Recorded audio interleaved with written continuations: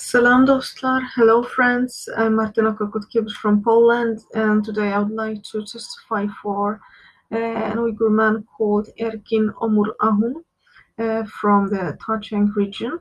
Unfortunately, I don't have his photograph, uh, but uh, if you are interested in um, reading more about the case, uh, you can visit his profile at Shahit uh, the entry number being 2597 to 597.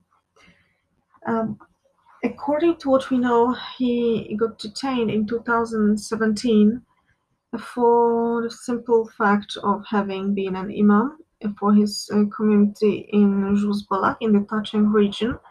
Uh, we don't know exactly in what uh, what type of detention uh, he has been, but um, all in all, he has been detained, which means that his religious activities have been seen as a crime by the authorities.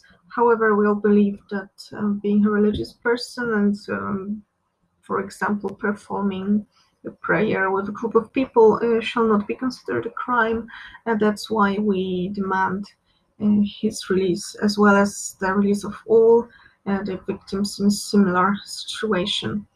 Rahmat. Thank you.